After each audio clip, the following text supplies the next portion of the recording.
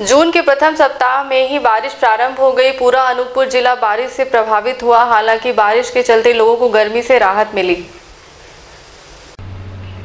जून के प्रथम सप्ताह में तेज बारिश देखने को मिली।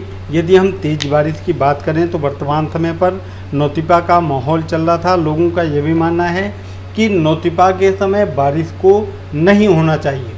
लेकिन बहुत सारे वर्षों पर यह देखने को मिला कि नौतिपा के बीच में ही तेज बारिश लगातार होते रही है। इस वर्ष भी यदि हम विगत जून के प्रथम सप्ताह की बात करें तो लगभग छः से आठ घंटे तेज बारिश ने पूरी तरह से गर्मी को सिकोड़ कर रख दिया।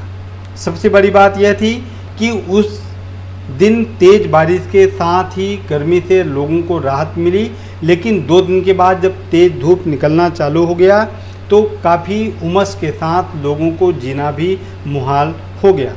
आप देख सकते हैं कि बारिश का आलम ऐसा था कि पूरे नगर को सराबोर करके रख दिया।